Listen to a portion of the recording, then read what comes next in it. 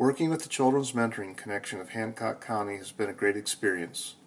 In the three years that I've helped out, I've seen many kids receive guidance, love, and a listening ear that they may not get anywhere else. Along with seeing these things take place, I've learned a lot about the community of Cory-Rawson.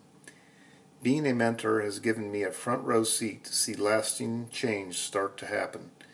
If you are looking for an opportunity to impact Findlay and the surrounding communities, I highly recommend Children's Mentoring Connection.